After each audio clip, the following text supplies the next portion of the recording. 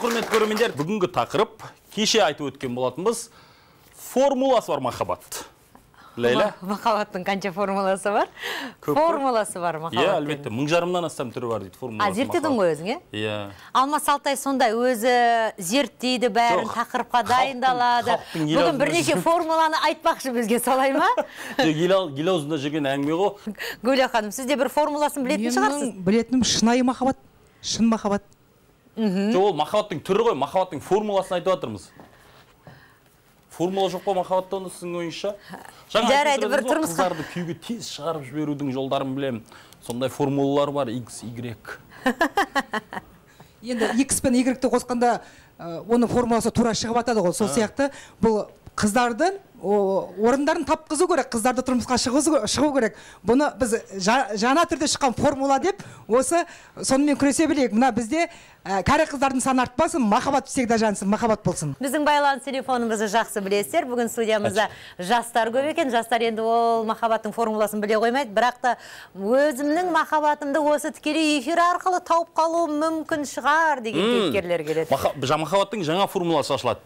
Тікелей эфирдегі махаббат тікелей Иә, эфирден мүмкін. махаббат табу деген. Сондықтан бүгін біз скайп байланысы да қосамыз. Айтпақшы ұмытпаңыздар жазып алыңыздар. Скайп арқылы да біз бүгінгі біздің қатысушыларымызға кейіпкерлерімізге сұлтекен қызы бір ауыз әңгімеңіз аузыңызда мен алдымен бағдарламаға аңдатпа жасап жіберейін содан кейін. жақсы. Ә, ақшаны емес сезімді таңдаған әйгерім бейсенбаева не үшін ажырасып кетті? Қалталы жігіт оның бағын аша ма?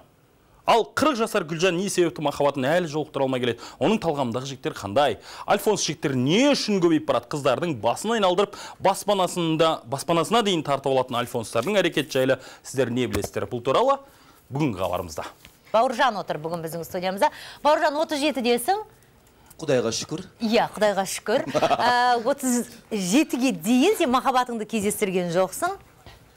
Өйткені мен эгоист емеспін? Ә, мүмкін айтады ғой алла тағала мында жазғанын көресің дейді да? А Иә. жазылмаған. Негізі менің ә, биологический жасым әм, 25. 25 А, көрдің ба біз сені де зерттедік. Да. иә 25-ке сезінесің өзіңді. иә сезінемін да. Бірақ әңгімеге қарасаң 18-дегі жігіт сияқтысың.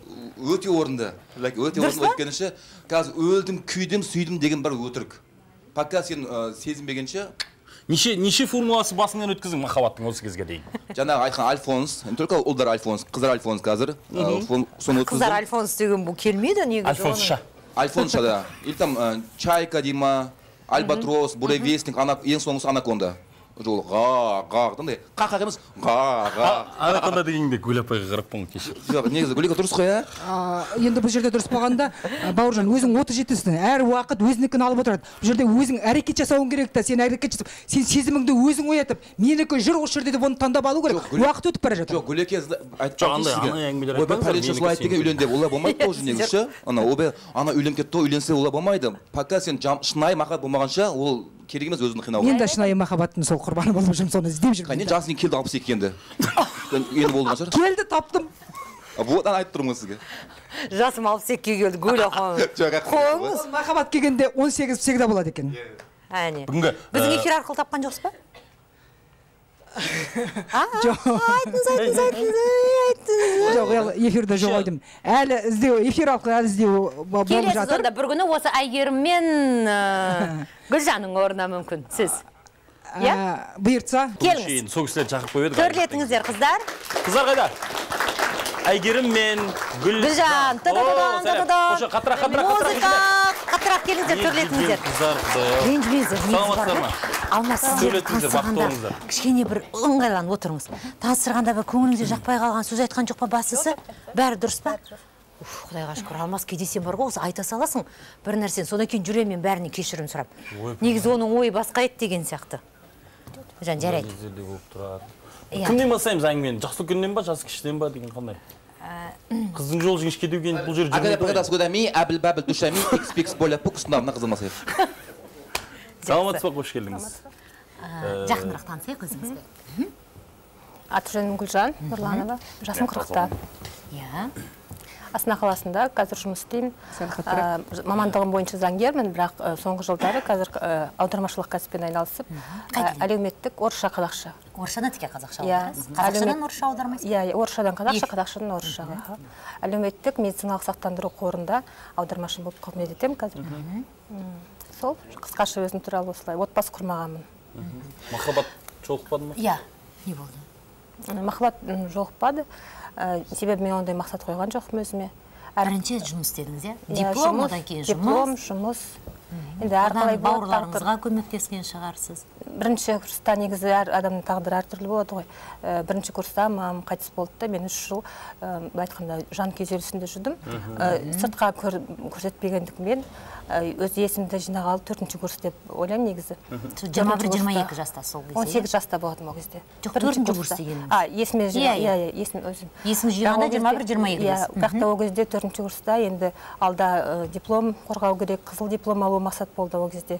Сөйтіп мен жұмыс оқу деп қалдым да сосын жұмысқа тұру керек. Сол сөйтіп кете береді ғой өмір былай қазір құндылықтардың өзгергенін байқайсыз ба өзіңіз? Жалпы сіздің жасыңыздағы сол кездегі 21 жастағы қыздардың қазір мүлде жағдай м, ойы басқа ойы. Олар қызыл диплом туралы ойламайды неғұрлым. Тезірек бір азаматтың етегінен ұстасам деп ойлайды неліктен қазір он шақты жылдың ішінде өзгеріп кетті жағдай. Өйткені қазір заман талабы солай Иә. деп ойлаймын. Біздің мына жалпы халықаралық қоғамдастыққа ә, біз ен- енгеннен бастап жалпы мемлекеттің де ә, көзқарасы еуропа қауымдастығына қа- қарай күтей ықшамдалған секілді. Сол себептен ә, біз енді бұрын ә, совет үкіметі кезімен өмір сүрдік. Не өкіндіреді сізді қазір? мен ештеңе өкіндірмейді бірақ та адамның әр адамның өз тағдыры өз белгіленген жолы бар деп ойлаймын. Әрине ә, адам айтады өз өмірінің ұстасы өз бақытының өз тағдырым деп. Бірақ дегенмен қандай да бір елу пайызда ма одан аз көп па алдын ала белгіленген өмір нелері болады деп ойлаймын. Жақсы. Қандай азаматты кездестіргіңіз келеді? Енді мен ондай мақсат қоймаймын ә, қалай мақсат қоймайсыз? Бір э, кездестірсем деп ойлаймын емес. Адам өзі иә э, менің ойымша э, некелескенде өзі ішкі сезіммен некелесу керек деп ойлаймын. Сіз есіміңіз кім болады? Некелескенде. Гүлжан. Гүлжан да? Жасыңыз нешеде қырықта. Қырықтасыз бауыржан отыз жетіде қалай былай? Жоқ негізі мен ойлаймын өзінен жасы үлкен болу керек ер азамат некеге тұрмысқа шыққанда. Иә міндетті түрде. Жақсы. Бірінші талап кетейікші ә, ренжімеңіздер да? Иә. кәпитек маскамызды шешейік қазір да. Жасыңыз келді жоқ қырыққа. Ойбай маған онда қарамаймын дейсіз. Жоқ оның бәрі әшейін түф та. Мен айтайын сізге да сіз сіз ә, не қыласыз ба андай ә, келешегіңізде сіздің жанұяңыздың бала шағаңыздың несін көруге тоже үлкен жағдайда тұрған өмір сүрген. Қалайсыз ба? Иә қалай. Ол неге айтып сонда маған ештеңесі керек емес махаббат болса болды дейсіз. Э, дегенмен егер снимайте пожалуйста свои розовые очки. Көзіңізді ашыңыз қараңыз жан жаққа былай. Иә ма?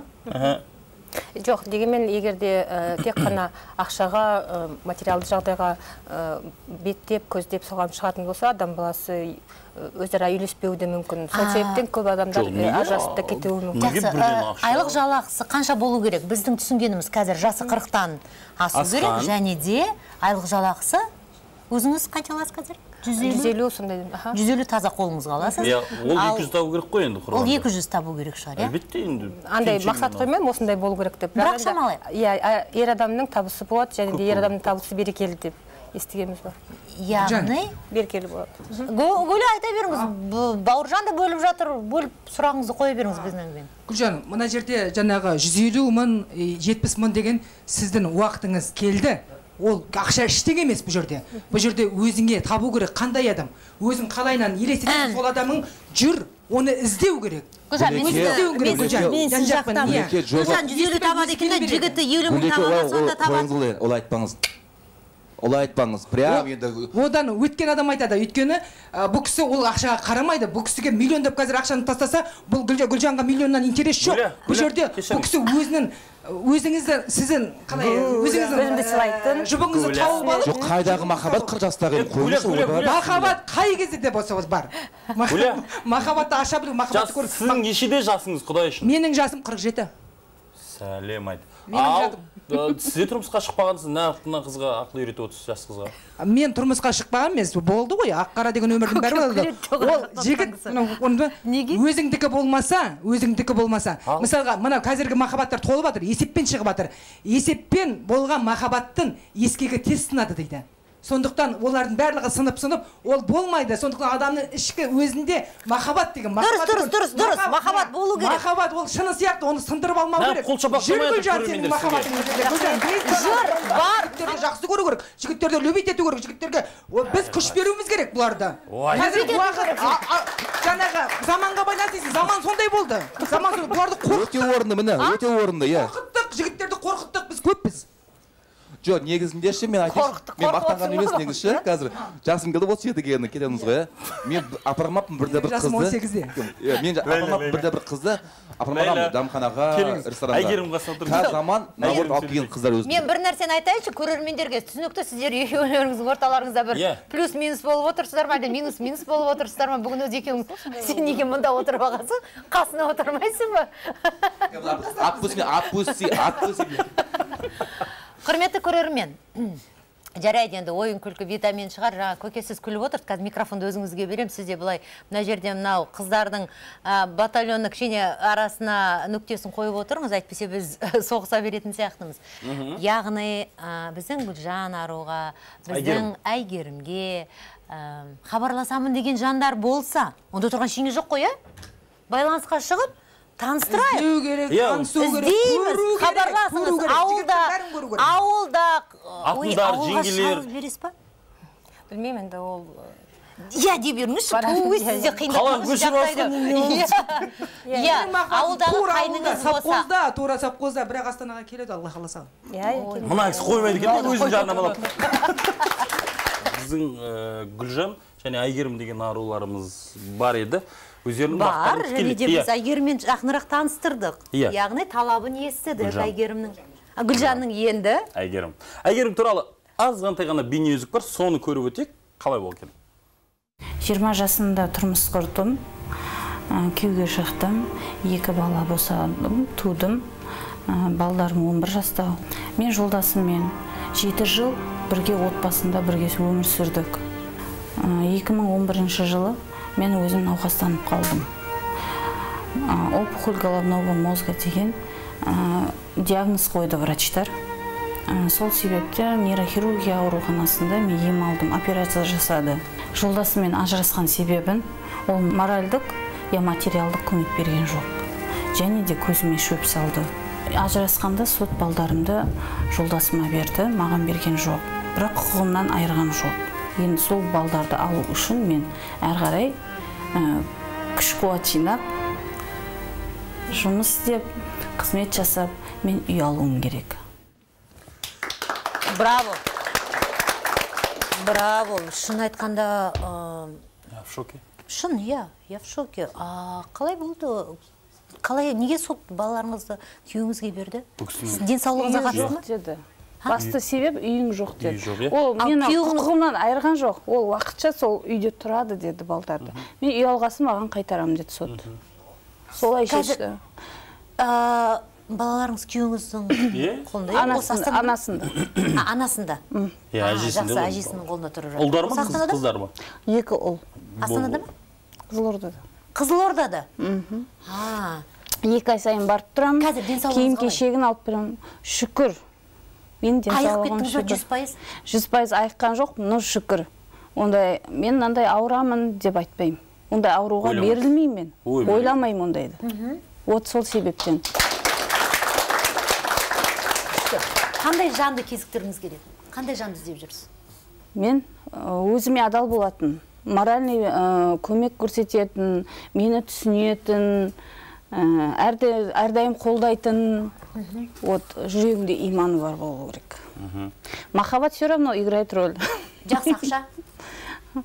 Ақша енді сіз 200 мың депсіз екі жүз мың. Ну екі жүз мың иә? Но но астанада олсыз өмір сүре алмайсың қазір. Былайша айтқанда иә егер үйің пәтерің болса болады. жүз мың да жетпіс мың да жетеді ал үйің пәтерің болмаса екі жүз мың ақша емес даже. Жақсы. біз қазір тікелей эфирде хабарласқан таныстырамын деген жан танысқым келеді дейді иә? Танысқыңыз келе ма әлде біреумен таныстырғыңыз келе ма А, ау сәлеметсіз бе қалдарыңыз қалай?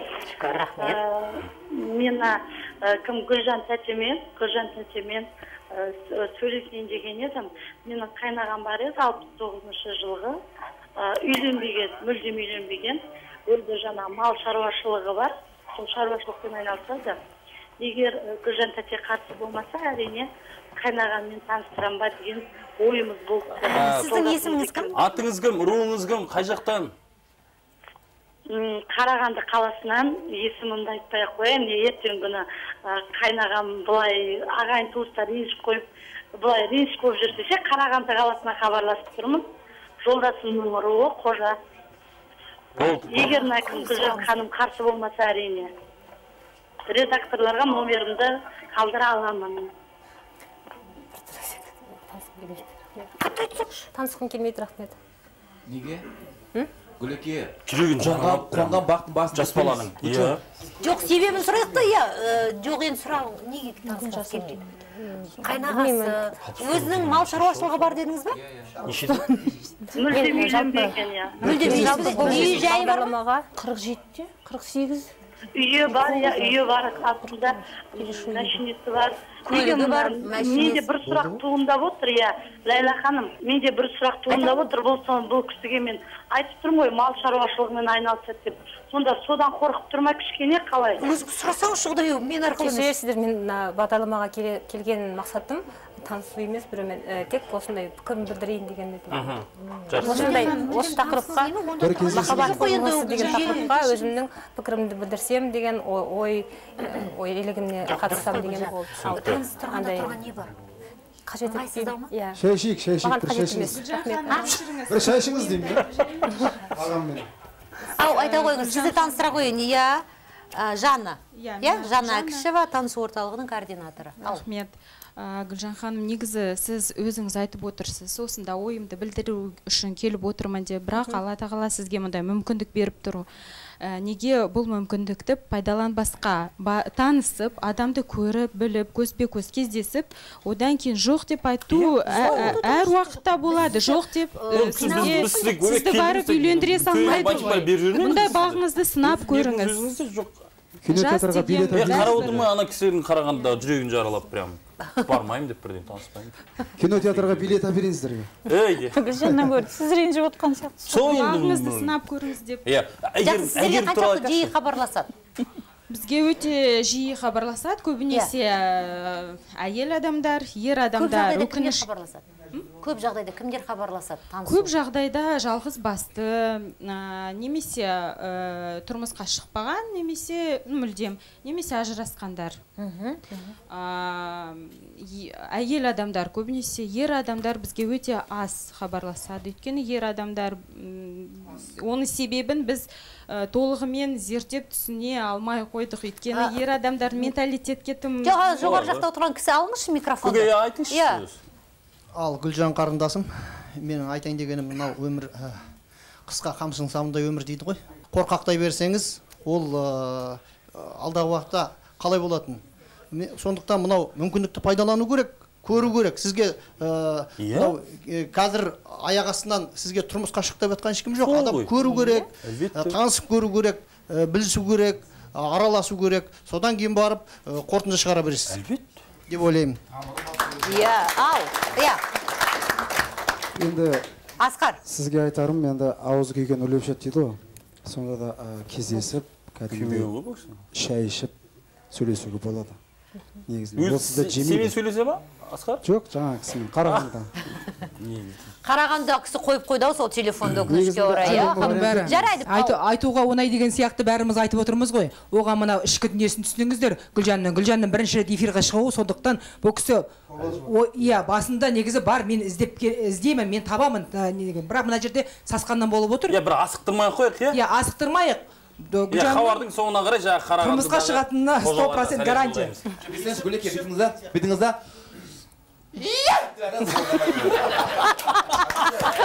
Қалай қалай? Тұрып көрсет тұрып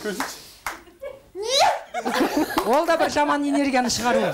Жаңа әйгерім туралы айтайықшы неғып гүлжан гүлжан деп иә дұрыс. Ал әйгерім енді екі жүз мың дұрыс айтасыз. Астанада үйі болмаса 200 мың былай келе салайық. жалақысы Ә, болғаны жақсы. әйгерімнің екі ұлы бар. Әм, дәм тұз жараспаудан анадан мынадан емес. Ә, тағдырдың өзі ажырастырып тұр енді бұл кісіні. Болмаса бір жігіттің де бір аса бір қатты кінәлі жерін білмей тұрмыз. Бұл кісінің де бір ұябзарлығын көрген жоқпыз ай- айтылғаннан естіп отқан жоқпыз.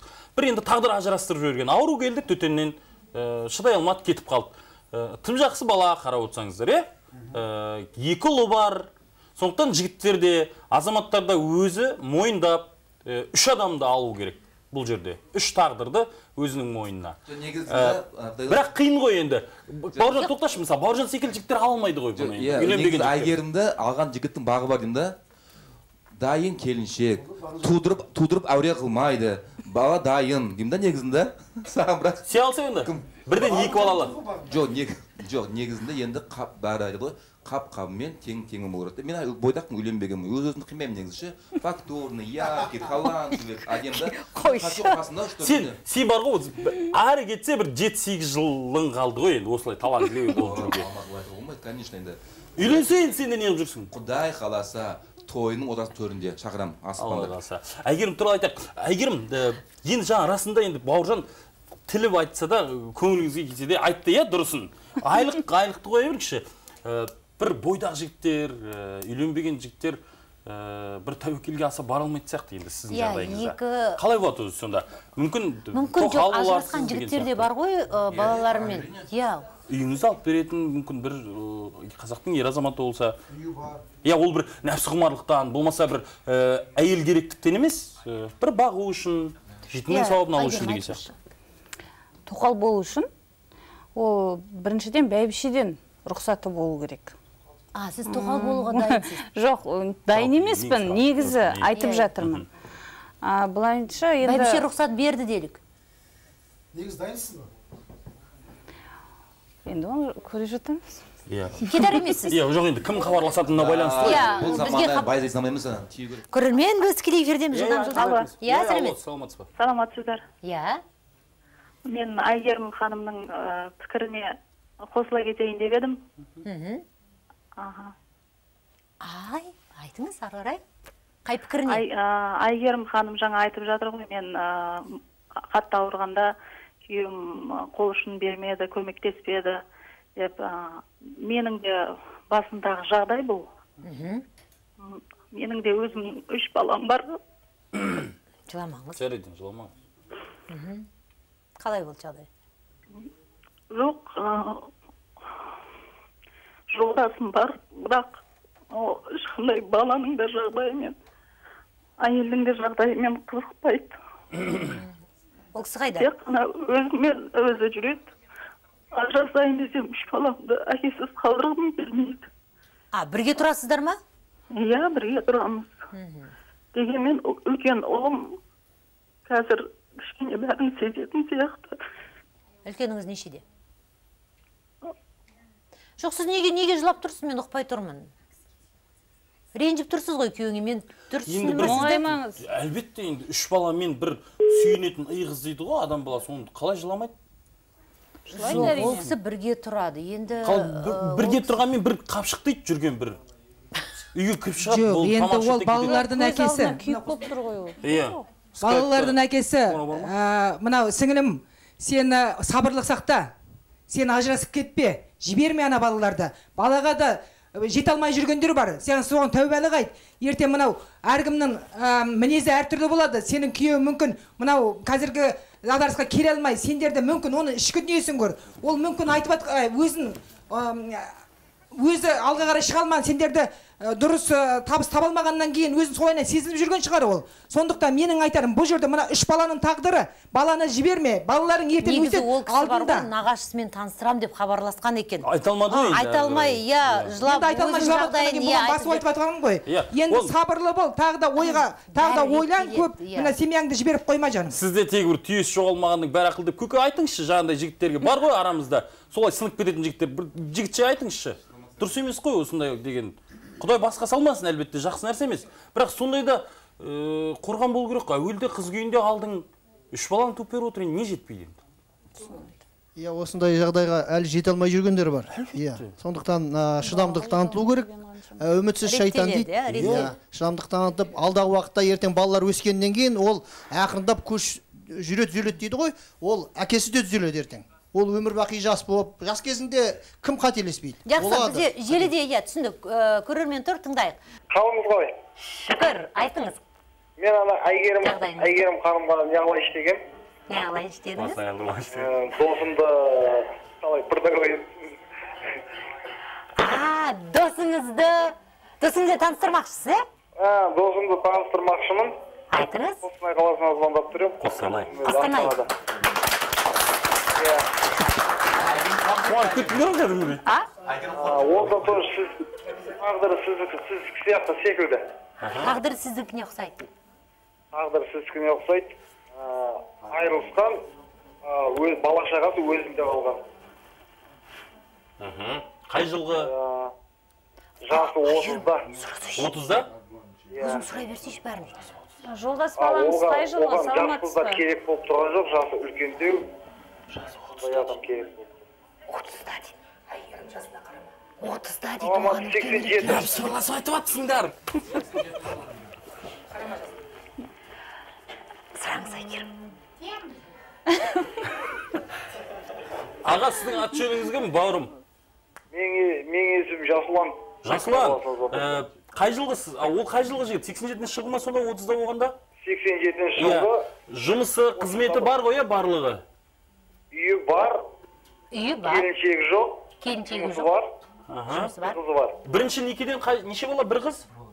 Бір қыз жа- жалғыз қыз. Бір қыз. Жарайды дейді. Ә, соңырында заңсыз. Қызылордадан қостанай. Енді бір иә. Қостанайда тұра ма? Жоқ ол астанада тұрады құдай ау. Ой вот почти кетіп тұрсыз ғой. Жоқ жасұлан. Нөмірін қалдыра аласыз ба сол жігіттің аты жөні кім? Қазір мен звондап өз тұрсыз. нөмірімді қалдырдым если не қылатын болса маған қоңырау шалса мен оны мен айтсаңызшы құдай ау. Жоқ жа- жасұлан былай дейді тұра тұр тұра тұр ой алла кө- көзің жайнап тура өзі танысы иә қуанып кеттің ғой. Жасұлан. Жасұлан аты Жасұлан. жасұлан.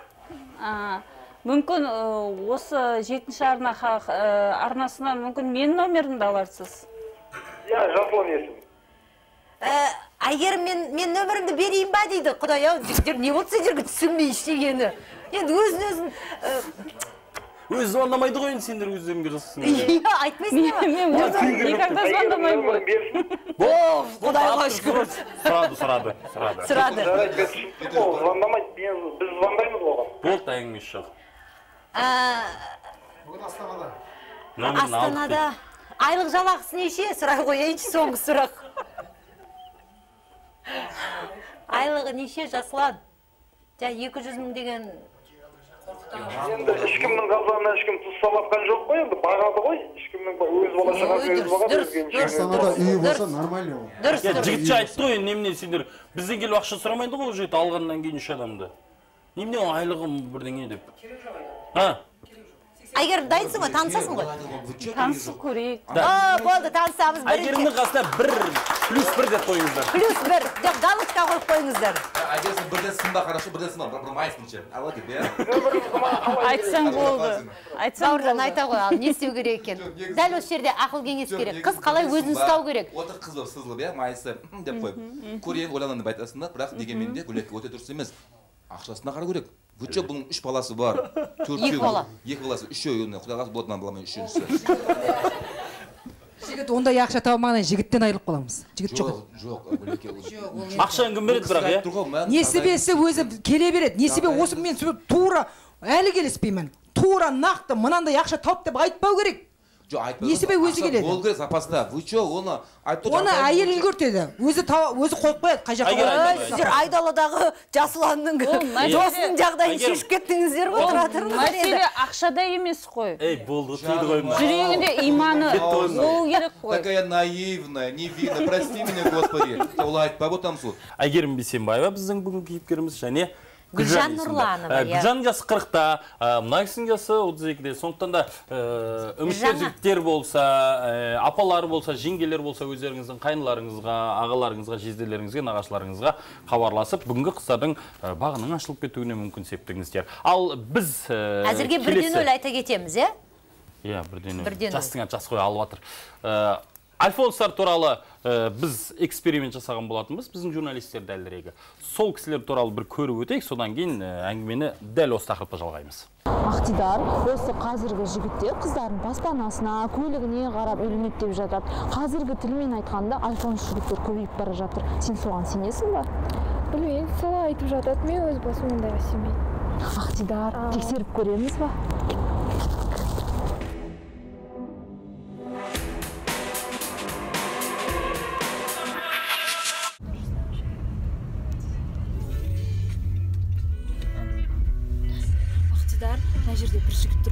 Саламыз ба қазір осыдан бастайық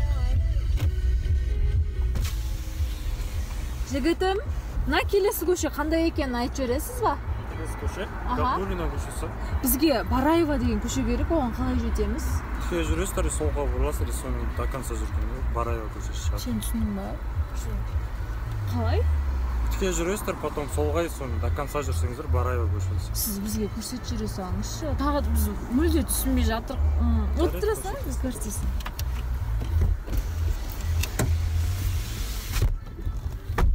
Қазір қайда? Қазір тіке жүресіздер. Сосын тіке жүреміз да потом қалай барамыз? Сосын солға бұрыламыз. Хорошо.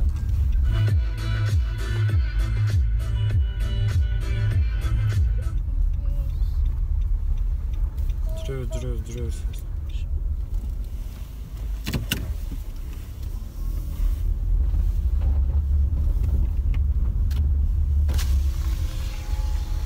жігітім кешіріңіз мына. Келесі көше қайсы екенін айтып жібересіз ба? Извините я не местный тут. Мына жігітті қармаққа алып көреміз ба? Іліне ме екен ілінбей ме екен. Көрейік қыздар қайдан қайттыңдар сол өзіміздің салонымыздан шығып өзіңіз қайда бара жатсыз үйге дос баламенен шыққам қонақтап қазір не план қазір бізге мейрамханаға барып тамақтанып алу керек бос болсаңыз жүрмедіңіз бе бізбен жарайды мен бірақ қасыма дос баламды алайын да екіге бір жарайды алыңыз біз де қарсы емеспіз алла қайдасың брат все все келіп қалдық қазір екі минутта боламыз жолдың бойына шығып тұра берсең көлік өздеріңкі ме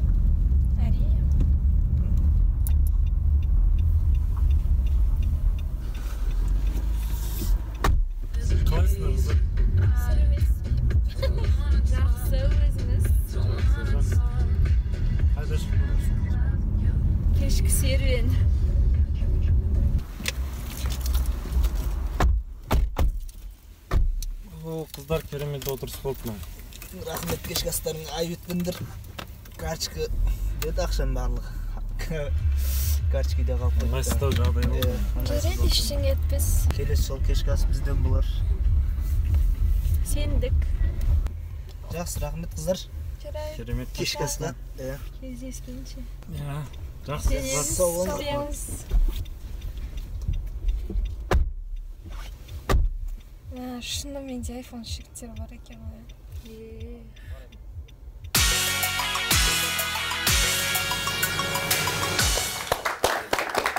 Иә енді альфонс деуге келмес бұл жерде иә әңгіме? Иә қыздардың өзі сияқты ғой басын айналдырып жүрген жігіттердің. Қыздар жай ғана эксперимент өткізген. Негізі бұл қыздар журналист әдемі көлікке мініп алып астананың көшесінде.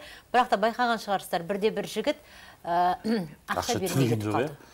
Карточкамда еді. Отказ бермеді. ә, а? Отказ бермеді. Иә рахметін айтып құтыла салды. Бізде скайпта скайпқа бір кісі хабарласып отыр. Негізгі әңгіме біздің гүлжан мен әдемі әйгерім туралы болып жатыр. Ал енді өзіңіз таныстырыңыз. А, здравствуйте. Мен просто қазақша жөнде білмеймін. жақсы жақсы орысша айта беріңіз. Ойбай бізге қазір қай тілде айтса да ең бастысы әйгеріммен танысқыңыз келді ма. Да, да, мне Айгерим понравилось. Смотрю вашу передачу. мхм ал әйгерім сұрақ қойсайшы А, азамат жасыңыз нешеде 31.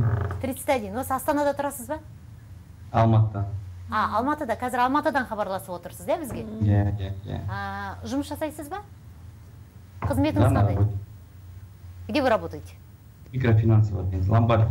мхм ломбардта. Айлық жалақыңыз неше? Ауыз ақшаның ортасында. Ну, по-разному. ну примерно шамамен. 200-250. 200-250 тысяч. Кем работает? Кім болып ломбардта ломбард. Алтын күміс ноутбук айфон. Әйгерім сұрап отыр ғой кім болып жұмыс істейсіз деп. Айтты ғой. Может охранник что жоқ сіз охранниксіз ба ломбардта? Ломбардтың охраннигі шығар иә Почти, почти. Қойыңыз жоқ дұрыстап Ей, айтыңызшы Оценщик, оценщик. оценщик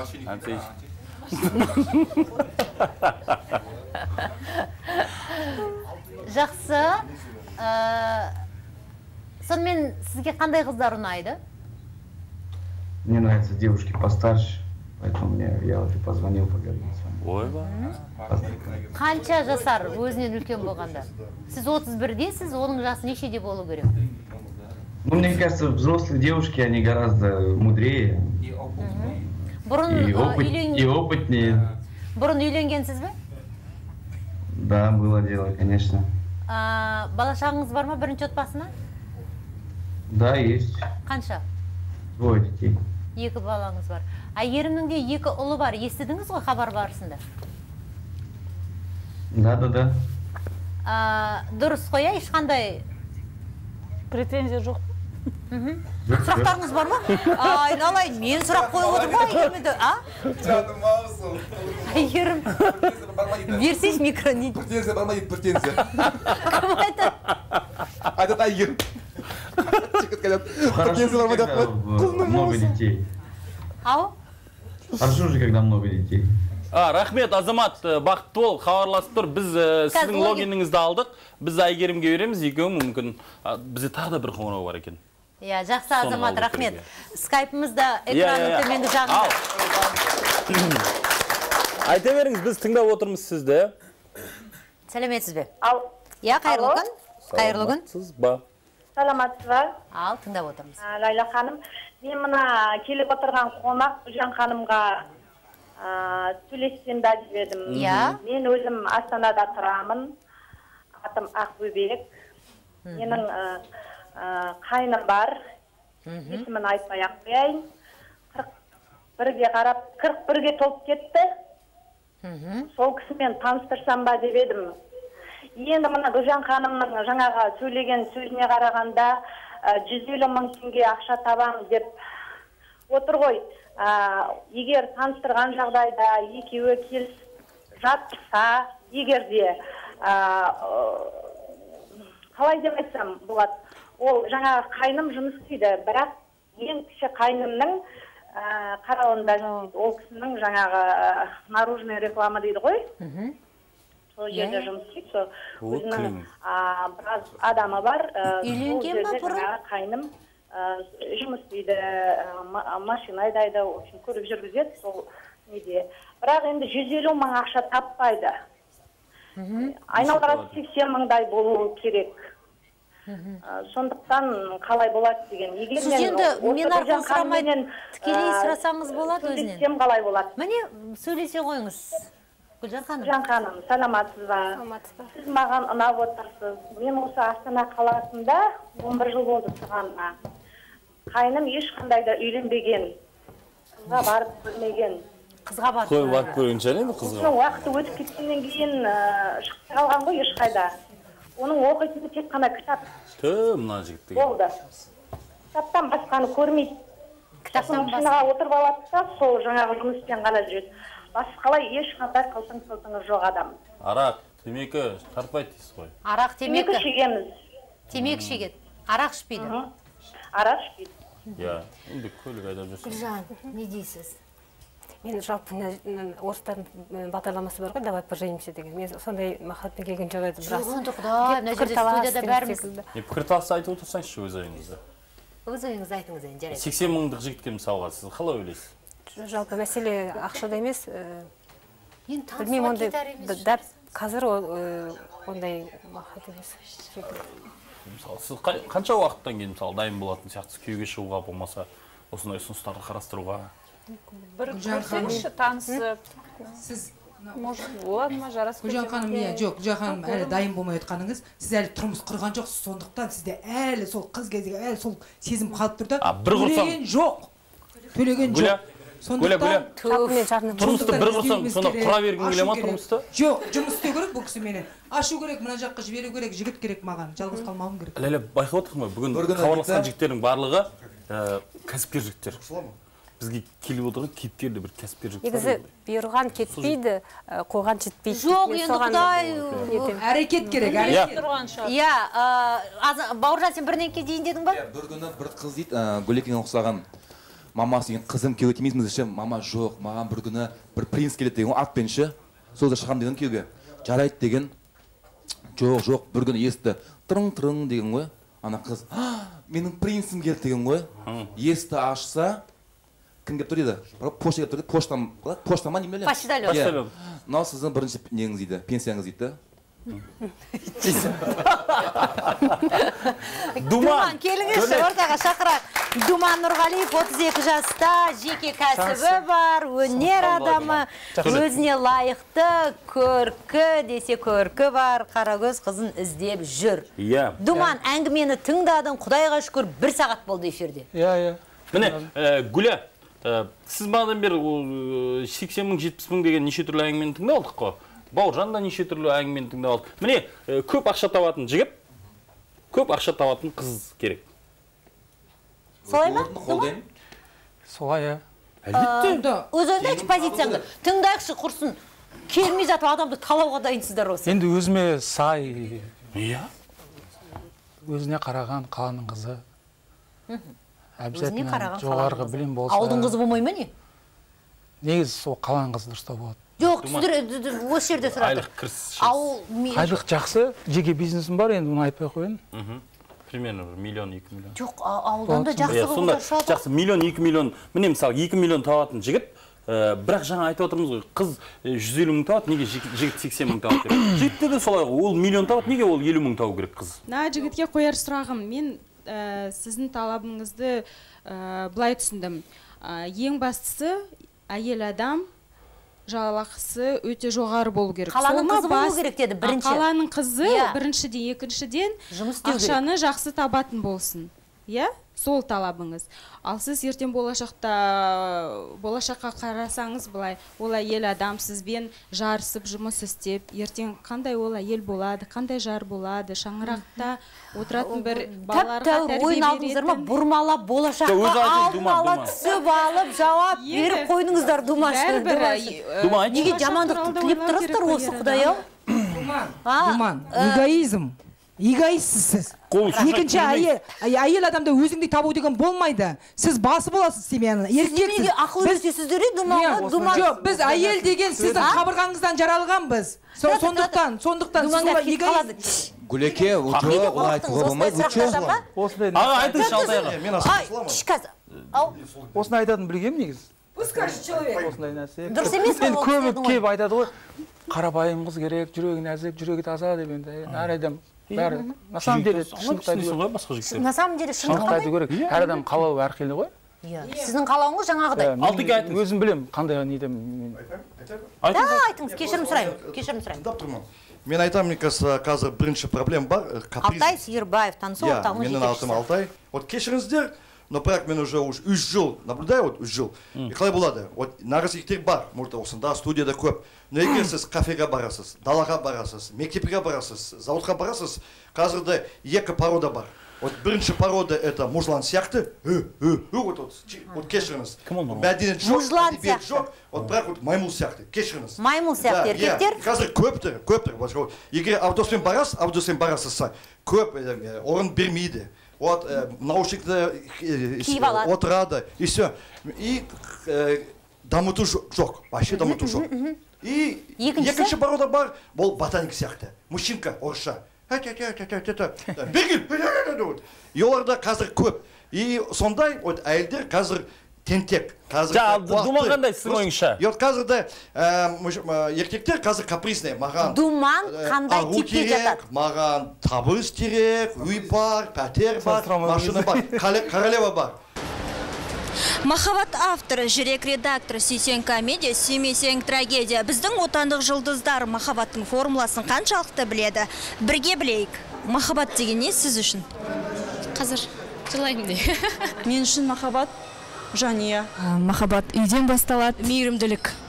Ол ә, ә, жылы сөз. Сүйіктіңізге жақсы көретініңізді қандай сөздермен жеткізесіз менің күнім менің. Деймін. Сенімен мен құлпырдым өмірім өзгерді дегендей ә, сөздерді айтып тұрамыз бірімізге.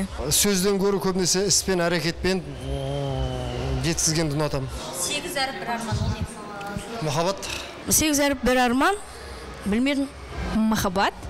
Сегіз әріп. Мама! Махаббаттың формуласы? Формуласы? Екі жарты бір бүтін? Білмеймін. О боже мой! Бір қосу бір екі. Оған қосасың үш сонымен бес. Біздің махаббат бес. Сегіз. Символы? Аққу. Жүрек. Қозы көрпеш баян сұлу немесе қыз төлеген сияқты. Ұясы? Ұясы жүрек үй. Жүрек. Отбасы? Қайдан білемін ол ұясы? Белгісі? Сәби белгісі сезім смайлик поцелуйчик мезгілі көктем көктем қандай шырайлы шұғылалы дегендей дәл қазір сүйіктіңізге қоңырау шалып тағы бір мәрте жақсы көретініңізді айта аласыз ба ол былай да сезеді мен махаббатымды қанша километр болса да мен сені сүйемін жаным дәурен жаным мен сенсіз өмір сүре алмаймын мен сені сүйемін. Мен енді ондай ә, көпшіліктің көзінше мен ешқашан ондай не сезімді білдірмеймін білдіргім келмейді. Жаным менің сүйікті азаматым менің ә, жүрегімнің жартысы. Шын жүректен сен болғанына бұл өмірде мен өмірімде мен өте қуанамын. Аман бол мен сені өте қатты жақсы көремін. Қазақстан республикасы экономика министрлігінің статистика бөлімінің 2017 жылғы мәліметі бойынша 18 жас пен 35 жас аралығындағы 25 пайыз жігіттер қауымы табыс табу деңгейі артса қыздар жағы 2015 жылмен салыстырғанда 0,2 пайызға өсіп 21 пайызға дейін көтерілген. А, ақшаға кеп тіреп қойдық тағы да әңгімені. Алтай мырза, сұрағыңыз Думанға.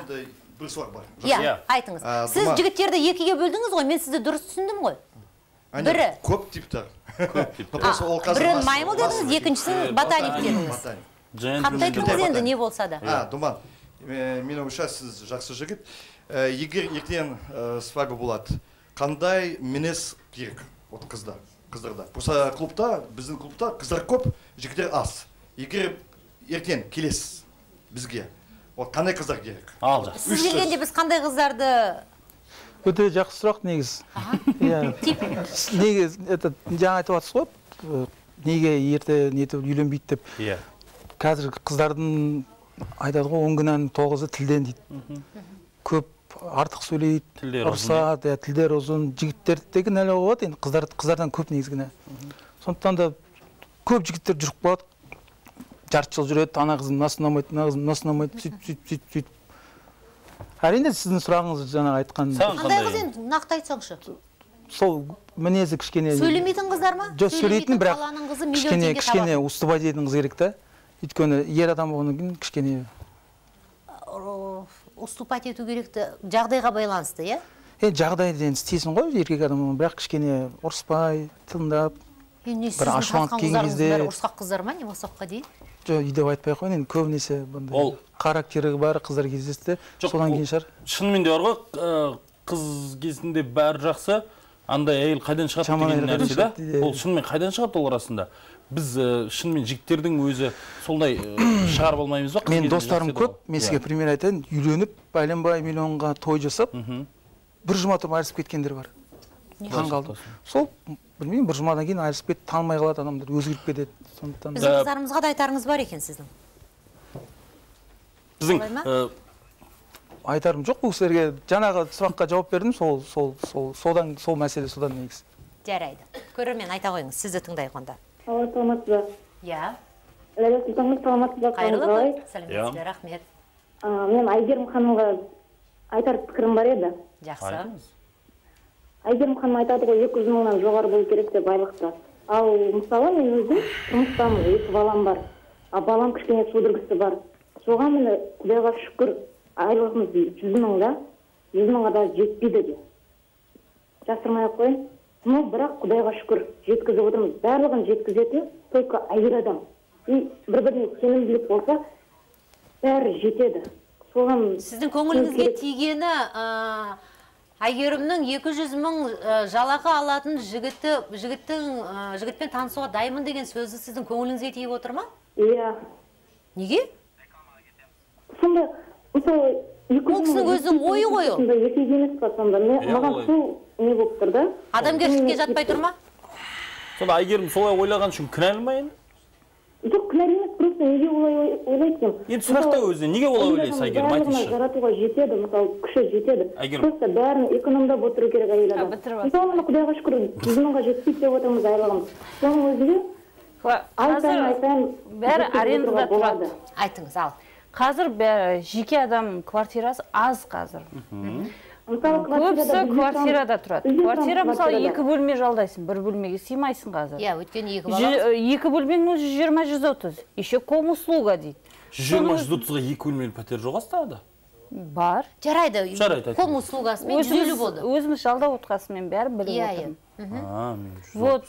оны ары қарай қалғаны мысалы тамағыңды аласың. Киім кешегі бар мысалы бала шағаның дегенде вот сонымен кетеді ақша. Әлбетте иә? әлбетте астырады. Егер өзіңнің үйің болса жүз мың болсын жетпіс мың болса ол жетеді. Ал егер үйің жоқ болса ол қалай жеткізеді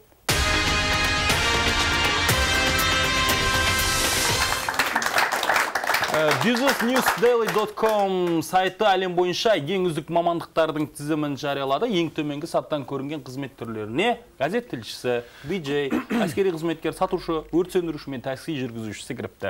Бұл мамандық иелерінің бір пайызы ғана қызметте өседі дейді мамандар. Ал табысы көп. Әрі мансапқа жетуге мүмкіндік зор қызметтерге жүргендерді іздегендерге айтарымыз бүгінгі таңда ғылыммен айналысып жүрген ғалымдар статистика саласында жүргендер ә, инженерлер мен компьютерлік ә, жүйелердің сарапшылары және әлбетте банк қызметкерлері бар бұлардың арасында. Демек ә, ақшасы көп жігіт іздейтін болса қыздар жаңа соңғы Міне. біз айтқан мамандықтың иелеріне қарай оң иықтарын беріп тұру керек қой. Жалғастырамыз хабарымызды. Құрметті көрермен тікелей эфирдеміз жалпы бүгін студиямызда үш кейіпкеріміз бар. Әйгерім ә, және Гүлжан. гүлжан және думан. Думан. думанның енді айтқаны елдің барлығын таңғалдырып та отыр. бір жағынан шындықты айтқан үшін думанды кінәлі емес деп есептеймін. думан бүгін жалғыз келген жоқ досы жеңіспен келді. Гүлә ханым сіз мына жастарға қарап сөйлей бергенше жаныңызда отырған жігітпен бір арасында сөйлесіп қоймайсыз ба? Танысып дегендей. жеңіс. Же- жеңістің бары да жоғы да білмей отыр мына өзіңіз қалай? Бүгінгі мына ба- бағдарламаны қалай тұжырымдайсыз? Өз ойыңызды айтыңызшы. Өтті гүля өтті. Ал жәке сөйле. Енді бағанадан бері өздеріңіз ойлап отқан шығарсыздар. Думанды қорғаңыз енді. мына жігіт алдында отырып алып өзін көрсеткісі келді ма әлде? Аузынан бір ауыз сөз шықпады ғой деген сияқты. Енді біз отырмыз енді. Бағанадан бағдарламаның басынан бастап осы аяғына дейін бәрін тыңдап біттік кішкене талқылай келе мен түсінбедім бір нәрсені. Э, тұрмысқа шығатын келіншек болсын қыз болсын жігіттің қанша ақша барын сенің жалақың қанша деп бірінші сұрай ма әлде мен түсінбедім соны. Махаббат керек па әлде? Мына айлық айлықты талқылауымыз керек па мен соны жалпы сұрау керек деп ойлайсыз ба? Сұрамау керек деп ойлайсыз ба? Негізі былай өзім ойымша негізі ақша ол келеді ол. Ол өз жөнімен ол өз жолымен келеді жаңа мына кісі айтып отқан сияқты. Сондықтан ең бірінші махаббат болу керек. Жоқ, а бірақ неге сіздің досыңыз Иә. сізді алып келген жігіт? Неге ақшасы болу ол керек? жігіт енді ол мен өзім жаңа мүмкін ол дұрыс жеткізе алмаған шығар может өз ойын. Мен ол жігіттің негізі білем негізі мен көп араласамын ол жігітпен. Менің жолдасым жақын жолдасым бірге көрісеміз. Дос па жолдас па? Досым енді ал енді айтсайшы жеңіс сонымен? Оған енді қыз инабатты қыз керек. Э, инама имандылығы бар кішкене қазақи қыз керек ақылды қыз керек деген сияқты. Оған қаланың қызы, оның ойын кішкене жеткізіп отырмын да кішкене ә, күйеуін тыңдай білетін келіншек керек. Әй дегенде енді аузын жаба Көнбіс қыз керек. әй дегізбейтін қыз керек қой негізі Әй дегізбейтін қыз керек кішкене э, сөз таластырмайтын қыз керек негізі ол Иә. жігітке бірақ Думан ә, дұрыс па? бірақ бұл жігіт ә, думан ә, кәсіпкер ғой. Қызметі кәсіпкер, иә, ол кез келген қызға ә, акция ретінде қарайды. Мына қызға инвестиция салуға бола ма болмай ма? Ертең әй деп кете ме әй деп кетпей ме?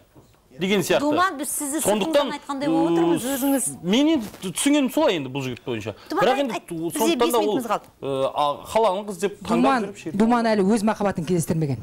Сондықтан махаббат жоқ думанда. ал енді осымен келіп ләйлә ханым бір болсын енді мына барлық айтып жатырмыз мына жерде кейіпкерлер барлығымыз сарапшылар барлығымыз. Мынау неге мынау жастар өзімізден келе жатқан мынау мен сізді тұра тұрыңыз, өзіміздің жастардың пікірін сұраймыз. Қазір бізде бір кісі ұзақ иә бір кісі ұзақ тосып қалды желіде. Поколение айтсыншы ана бала қайырлы күн сәлем- сәлеметсіз бе? Тыңдап отырмын. Иә иә. Айта бер айтыңыз. Жоқ, сіз айта берсеңізші біз айтып иә.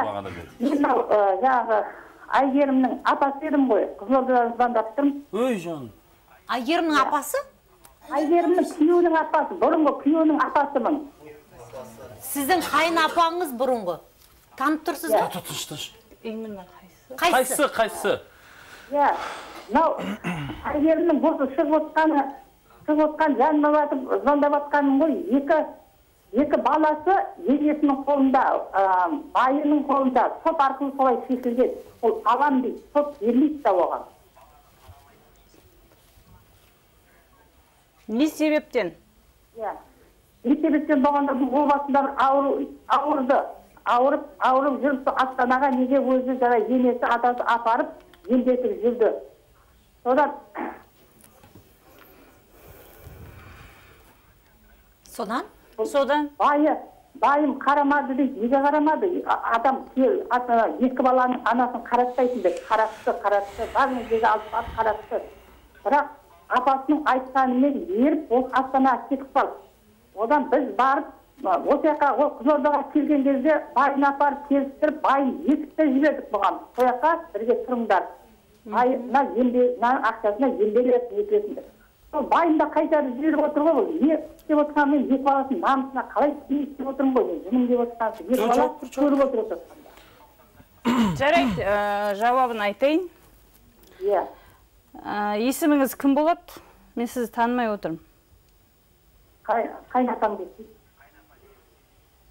жарайды қайнапа біліп отырмын мама сізсіз ғой иә әйгерім мен жіберді иә. Бақытбек менің жолдасым жіберді. Иә. Мен қазір мына жерге соның бәрін айтсам ұятқа қалады ғой апа. Оны несінен қозғадыңыз? Жарайды мен айтайын қазір. Әйгерім дұрыс қой дұрыс. Сен саған есі жібергенде соны бай қылғың келген жоқ қой. Не қылып отырсың брат ұят емес па? Иә. Не бай іздеп келіп отырсың? Бай деген саған астанада көп қой негізі. Апам ау. Ә, біз шындықты білмейміз иә? Енді біз Иә. көріп отырған адамдар жай куәгерміз бұл жағдайға. Иә. Ә, шындықты білмейміз. Бірақ әр адамның өзінің шындығы болады. Дұрыс түсініңіз. Бұл жерде ә, қатты айтпайық бай іздеп келіп отырсың ба? Қаншама адам мысалы қолдап хабарласып жатқандары да бар. Сіздердің орталарыңызға біз түспейік. Дұрысы. Айтсам қазір ұятқа қаласыз деп отыр. Әйгерім Иә. дұрыс па? Айтайын жарайды. Егер қаласа оны. уақыт жоқ әйгерім үш ақ минут қалды. Біз қаласаңыз қызылордадан осы хабарласып отқан кісілерді сізді алдырып бір хабар жасайық. Ал дәл қазір э, ол жерде отбасылық кикілжіңдерді біз шығармай ақ қояйық. Жақсы ма? Сіз де айтпай сол мен де сол айтпай ақ қояйын деп отырмын. Иә. өздеріңіз ұятқа қаласыздар. Ол менің ештеңем де кетпейді. Бұл жерде дым кінәм болған жоқ менің жарайды. Рахмет. Жақсы. Гүля сізді бөліп жібердім бір минут тез Э, ойыңызды. Әйгерімге ма? Жоқ жаңа мен сізді бөліп жібердім жарайды. мына мына жастар жастар айтсын жастар қандай келешекте қандай қыздарды қалайды? Жоқ. бұлар енді біздің өсіп келе жатқан ұрпағымыз ғой. Гүлә сіз өзіңіз бірдеңе айтасыз ба? Мен айтып жатырмын ғой жастардың ойларын білгім келіп тұр да? Аса мәртебелі уақыт. Енді айтқанда жаңағы жоқ болды әйгерімнің тиіспеңіздер әйгерімнің жеке өмірі ол бұл жерге менің онда тоже ең соңғы айтатыным мынау. Формула. махаббатсыз дүние бос. Махаббат қай кезде болса да махаббат құрметті көрермен бүгінгі хабарымыздың барысында бізге хабарласқан бізді тамашалап отырған әрбір жанға алғысымыз болды. Бұл енді өмір өмірде кейде біз бір біріміз бауыржан айтпақшы кейде маска киіп алғанды ұнатамыз. Солай ма? Біз енді бүгін көптеген масканы шешіңіздер дейді. Барлығы бақытты болсын не иә болса да. біздің көрермен мәртебелі көрермен бір нәрсені күтті. Біз анонста ләйла есеппен күйеуге шықты ма? дегенді бірақ соны айтады екен жоқ, айтады екен әрине жоқ иә. жоқ. А? Айтыңызшы есеппен шықтыңыз ба? Бауыржан қой. Бүгін негізі гүлжа бүгін гуля мен бауыржан жүргізу керек еді хабарды иә? Өте күшті керемет. Рахмет сіздерге. рахмет сіздерге барлығы қалжың оның барлығы. Құрметті ағайын біз сіздермен ертеңге дейін қоштасамыз. Дәл осы студияда дәл осы уақытта. Иә сағат үште көрісеміз. Жетінші болса болады